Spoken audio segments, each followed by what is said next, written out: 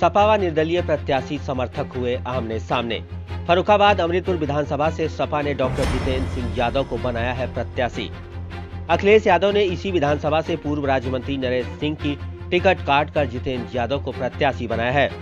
इसी बात से नाराज़ होकर नरेंद्र सिंह ने सपा से इस्तीफा देकर निर्दलीय चुनाव मैदान में उतरे हैं। आज डॉक्टर जितेंद्र यादव की पत्नी अनीता यादव, ब्लॉक प्रमुख नवाबगंज समर्थकों के साथ नया नगला में वोट मांग रही थी।